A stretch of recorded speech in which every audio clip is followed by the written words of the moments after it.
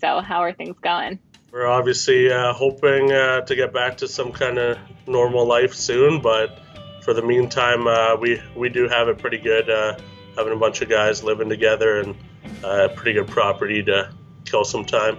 Tell me about that that house because you guys, it's what five of you who live together. Right now, there's um, myself, Challen Rogers, Brad Kri, Adam J, Zach Manns, and then just another guy that uh, not involved with our team. I saw you guys have weekly poker nights. I don't know if you're allowed to tell me about that.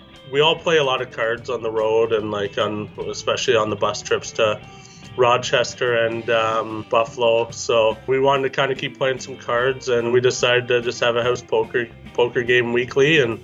Uh, it's been pretty fun, but it's kind of our night to let loose a little bit. E- even though we, we do live with all each other and we're in quarantine, we all kind of are on our own page. So that's kind of our time to to get together, chat a bit, whatever, watch watch some old sports in the background, and just have some fun. But it gives us something to look forward to each week. You guys were having a pretty a pretty solid season. So what are your thoughts on that? I mean, is it frustrating that it was kind of cut short? Yeah, I mean, we, we were having a good regular season, and we thought we were going to be a team that would end up making some some noise uh, in the playoffs. And anytime uh, a championship opportunity gets taken from you, that's uh, that is a tough pill to swallow. I I'm confident in the group to bounce back uh, whenever we do get playing lacrosse again.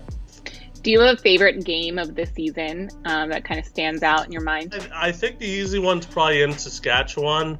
Um, we were down 6 2 at halftime. Obviously, they're, they've been the top team for the last three or four years, and uh, to to kind of have the resolve to come back and win that, that was pretty special. I think that's what most of our guys would say because it, it, was a special win. But my favorite was our, our win at home against Buffalo. I really thought that was kind of where we started to get our mojo going uh, in front of our own fans too. And huge division rival, obviously us and Buffalo the last few years have uh, contended for these championships. So to beat them at home in front of our fans was uh, my favorite game. Why is the rivalry so strong between Toronto and Buffalo? You're never going to see one of us get blown out by the other, really. It's always going to be kind of a tight game. And I like some of the guys on that team, don't get me wrong, but our teams just hate each other. Like there's no way to put it, uh, other way to put it, but um, that just kind of comes with the territory.